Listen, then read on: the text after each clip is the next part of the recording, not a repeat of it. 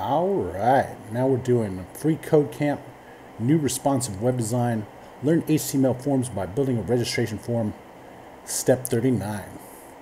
So the text area appears too small, all right? Uh, to give it an initial size, we can add the rows and cols attributes. Uh, we're going to add an initial size of three rows and 30 columns. All right.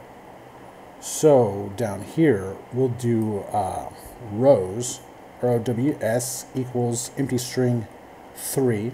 Let's look over here. All right, it added a little bit down. All right, and we're also going to do calls. COLS equals empty string and 30. And it extended it out this way a little bit. All right, let's check it. Looks good. Submit it. All right, now we're on to step 40, and we'll see you next time.